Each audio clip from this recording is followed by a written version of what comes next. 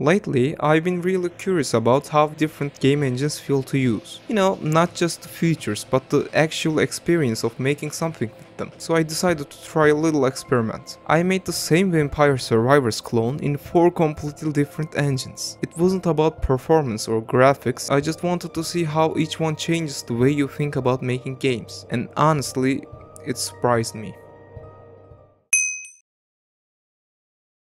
First of all, I opened a new project and started making basic player movement. I tried to implement velocities and acceleration, deceleration, but it was not easy as I expected, so I continued with the direct position manipulation. So after that I decided to make the player not a ice cream? I don't know what that is. So I did a neck dude. I don't know why, but I don't know what I'm doing, okay? Anyway, as you can see, there is no game because we don't have any enemies. Duh. So after some coding, now we have an apple that follows the player. But if you look a little closer, you can see that it's not actually following, it's teleporting. And we, we don't want it to teleport to player. So stop, don't teleport to player. Um, I fixed it now and it should work for... it works fine. After that, I tried to implement some bullets with literally arrows, but somehow it got deleted in its own and, and I don't want to suffer more, okay? And here's the results. I think Scratch is not the best game engine. The reason I um, included Scratch in this list is because it's actually easy to test general ideas in because you don't code, you put some blocks and you get some cat uh, and that's it. L let's go to the Fun fact about love is it's actually pretty low level. I mean, it doesn't come with a lot of features as I expected because they said it was easy. Its API was pretty fun to work with actually. I love the concept of it's like your render canvas and you are drawing with a pencil. You set the color and you draw it or rectangle um pixel stuff. You can see the window opened after a lot of pain. It was not supposed to be hard like this. I don't know, I messed up something and it confused me, okay? But the one thing I hate about love, it's not actually lo about love, it's about Lua. Its syntax is the most annoying thing I ever worked with. I mean, their decisions are just ridiculous. There is no arrays, you have only curly brackets and if you want to get the size of an array, you put a hashtag before it. It's very confusing. What's the difference between do and then? I don't know.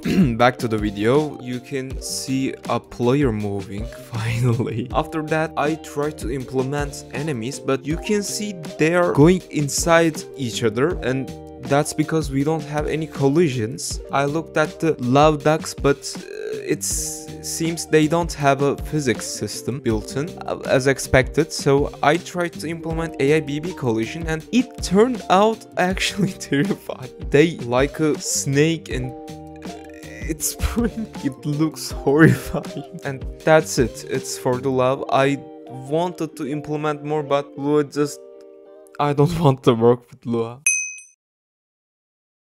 In Bevy I had a little experience with it so I started by trying to create a window, but it took a little long because Rust's compile time is one of the downsizes of Bevy and Rust. So iteration speed was very low, but here you go, there is a player and a window.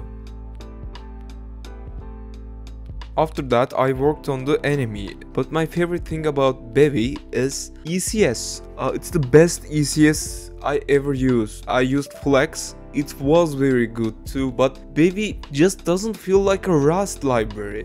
Like, it's amazing. It's not hard, Rust itself is hard, but Bevy is not that hard and it's extremely flexible and modular. Oh, that's insane. And, and I later implemented AABB collision and yeah, that's it.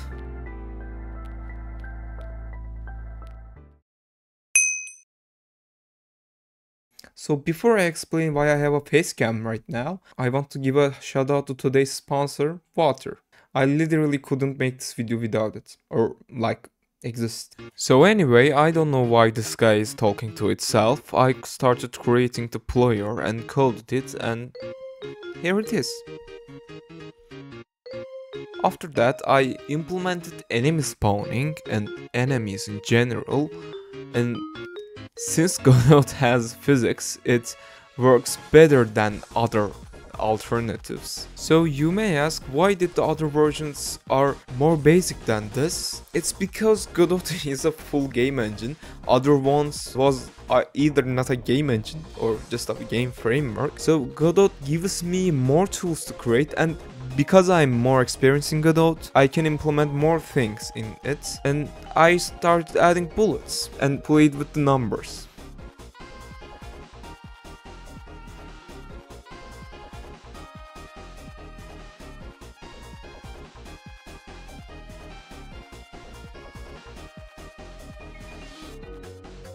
and the game's a little basic, right? So I made a grass texture and added it. I know it looks pretty well. Find the awesome cat pack by Admurin. Admurin. Edmurin. I don't know how to pronounce it. This is art. I put it in my game and that's it. Yeah. Thanks for watching.